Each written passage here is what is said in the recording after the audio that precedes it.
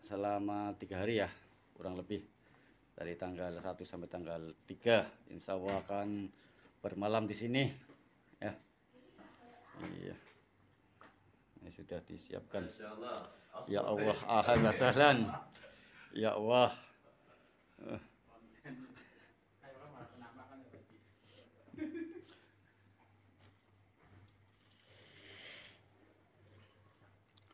Kita buka kita ini ya Allah.